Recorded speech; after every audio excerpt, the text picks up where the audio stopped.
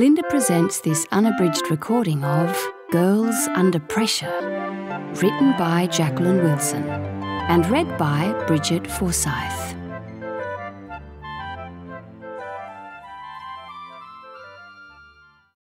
Chapter 1 Model Girl It's all my idea.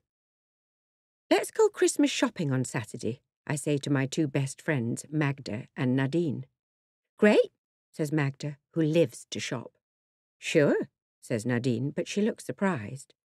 I thought you always made your own Christmas presents, Ellie. Yes, well, I think I've grown out of that stage now, I say hurriedly. We've always had this silly tradition in my family. I'd think of a theme and then make everyone a present based on it. There was the year of the stripy hand knitted scarves, the wobbly vases, the year I joined the pottery class, the cross stitched canvas purses. I made them for everyone, friends as well as family. And because people were polite, I thought they really liked my loopy homemade junk. I've known Nadine since we were both five, so she's endured years of fraying dresses for her Barbie dolls and lumpy little felt mice. When we started secondary school, I made Nadine a black and silver friendship bracelet. I made one for Magda in pink and purple. They seemed to like them. They both wore them for a while anyway. Last Christmas, I made special boxes for all the family, studded with beads and shells. I used licorice all sorts for Eggs's box but he tried to lick them through the glaze and hurt his tongue. Typical. Dad and Anna act like he's an infant prodigy, but I think he's got the brains of a flea. I pondered long and hard over boxes for Magda and Nadine. In the end, I made Nadine a silver box with a painted silver shell design. I did an identical one in gold for Magda. She opened hers as if she was expecting something inside and then she asked if I'd be making her a gold necklace to go in it next year. She was joking, I think. I suddenly felt about Eggs's age. We'll go round the Flowerfield shopping centre, I say firmly. We'll buy all the presents for our families, and then we'll split up for a bit and buy each other stuff. And then we'll go to the soda fountain and have a milkshake, says Magda, getting more enthusiastic by the minute. The soda fountain recently opened up on the Flowerfield's basement floor. It's like those shiny ice cream parlour places you see in old American movies. It's become the in place to hang out now, rumoured to be great for meeting boys. If there's one thing Magda likes better than shopping, it's boys. Lots of them. Nadine sighs and raises her eyebrows at me. She's seriously off the opposite sex at the moment, ever since she got heavily involved with this creep Liam, who was just using her. She doesn't want to go out with anyone else now. Magda wants to go out with a different boy every night. I'm not sure what I want, and it's not like I get that many offers anyway. Well, there's this boy Dan I met on holiday. He's my sort of boyfriend. I don't see him much because he lives in Manchester, and he's younger than me and looks a bit weird. He is definitely not a dreamboat. I shall have to get him a Christmas present, though. Goodness knows what. I've had this sudden brilliant idea of buying Magda and Nadine underwear from Knickerbox. Red satin flowery knickers for Magda, black lace for Nadine. And then I could get Dad a big pair of Marks and Sparks boxer shorts, and Anna some pretty prim white panties. Eggs could have Mickey Mouse knickers. I've been warming to the universal knicker present, but I can't give Dan underpants, though I know exactly what sort, a wacky pair with a silly message. I decide I'll have a good look round on Saturday and see if I can get any further inspiration. I go over to Nadine's house about ten. Her dad's outside washing his car. He's the sort of guy who worships his car spending hours and hours anointing it every weekend. Hello, Curly Knob, he calls. I force a cheery grin and knock at the door. Nadine's mum answers in an old jumper and leggings with a J cloth in her hand. She's obviously dressed for serious house cleaning. Hello, dear. Nadine's in her bedroom, she says, sniffing disapprovingly. Hello, Ellie. I'm helping Mummy, says Natasha, waving a feather duster from the living room. Natasha is still in her cutesy pie pyjamas and fluffy slippers. She's dancing round to some silly cartoon music on the telly, flicking her feather duster as she goes. Ain't she a good girl? says Nadine's mum proudly. I try to manufacture another smile. Natasha rushes at me. You look dirty, Ellie, she says. She prances round me, poking her feathers right in my face. There, I'm wiping all the dust off. Oh, sweet, says her mum. Ouch! Natasha, that hurts, I say, my smile now very sickly indeed. Natasha is the only six year old in the world worse than my little brother Eggs. I sidle past and run up the stairs to Nadine's room. It is wonderfully black and bleak after the glaring patterns in the hall.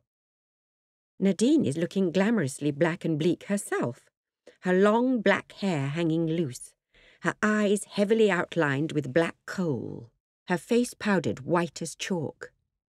She's wearing a black skimpy sweater, black jeans, black boots, and as I come into her room, she pulls on her black velvet jacket. Hi. What are those weird red marks on your face, Ellie? Your delightful sister has just been seriously assaulting me with her feather duster. Oh, God, sorry. Oh, don't worry. She wants a new Barbie doll for Christmas. I'll customize one. How about Killer Barbie with a special sharp little dagger that whips out of her dinky stiletto? Remember all our Barbie doll games, Naddy? I liked it when we turned them all into witches best. Oh, yeah. You made them all those little black frocks and special hook noses out of plasticine. Wicked. We both sigh nostalgically. I used to love playing with plasticine, I say. I still like mucking around with Eggs's little set, though he's got all the colours mixed up. OK, then, that's your Christmas present solved. Your very own pack of plasticine, says Nadine. I don't know what I'm going to get Magda, though. She was hinting like mad about this new Chanel nail varnish, but I bet it costs a fortune. I know. I'm a bit strapped for cash too, actually. It's all right for Magda. Her mum and dad give her that stocking crate allowance. My dad gives me exactly the same as Natasha, for God's sake. In fact, Natasha ends up with heaps more because they're forever buying her extra stuff. It's so lousy having a sucky little sister. It's just as bad with a boring little brother. That's why Magda's so lucky, because she's the spoilt baby of the family. Magda certainly shows stylish evidence of spoiling when we meet up with her at the Flowerfield Shopping Centre entrance. She's wearing a brand new bright red furry jacket that looks wonderful. Is that your Christmas present, Magda? Nadine asks. Of course not. No, I had a little moan to Mum that although my leather jacket is ultra hip, it isn't really warm.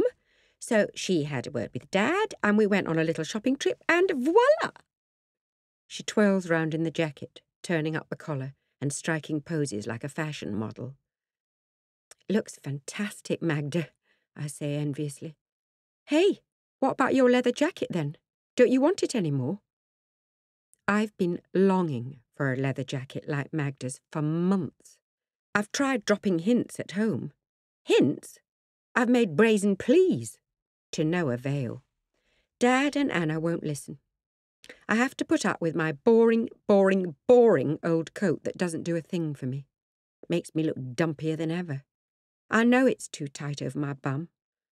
I'd have sold my soul for Magda's soft, supple, stylish leather. But now her furry scarlet jacket is even better. Nadine fiddles at Magda's neck to have a deck at the label. Wow! Whistles, says Nadine. She bought her black velvet at Camden Market.